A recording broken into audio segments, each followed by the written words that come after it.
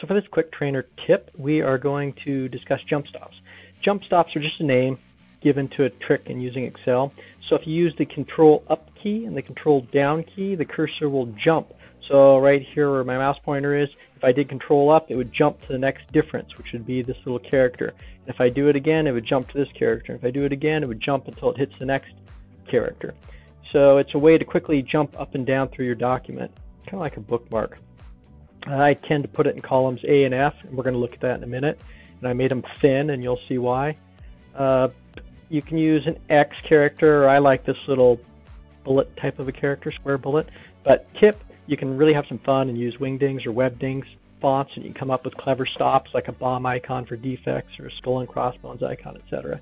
Um, I tend to put a mark at the first row, 17, so I can jump to the top, and at the bottom row, 319, so I can jump to the bottom. I tend to use column A for tagging the section headers, and over to the right, I use column F for tagging or marking failing or block test cases. So as its status changes, I can still page up and down quickly to them and, and jump to the fails or the blocks for regression testing. So let's do a demo.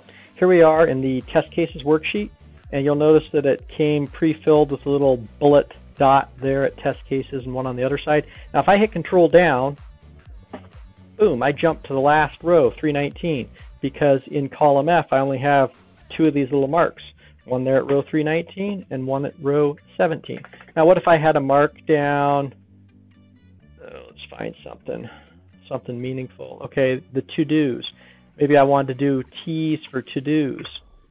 Maybe I just wanted to do the start and the end.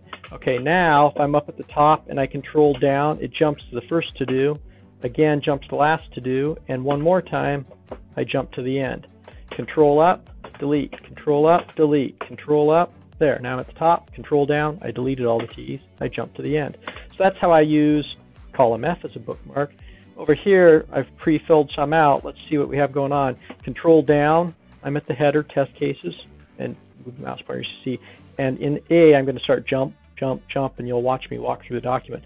Jump down to the properties uh, subheader, jump down, I'm at the test cases tab, jump down, I've gone to the test run log tab, jump down, row 85, jump down, row 105, jump down, last row. Jump back up. So you can see how quick it lets you work your way through the document. Such a little usage trick. Um, and you don't have to, if, if I want to do another bullet, since I have one, I just control C and I can put one here, control paste, and then I can put two, actually, for those two, and I want to do three here, there.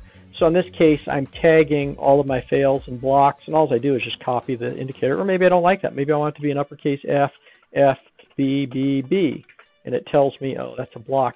And that way, if the status changes to, uh, oops, has to be an uppercase, let me correct that, T, T, T, T, T, I remember, oh, those were fails and blocks on the last test cycle. And when I flip the test cycle to get ready to test the new stuff, I haven't lost that information. So that's another way that I use this column over here.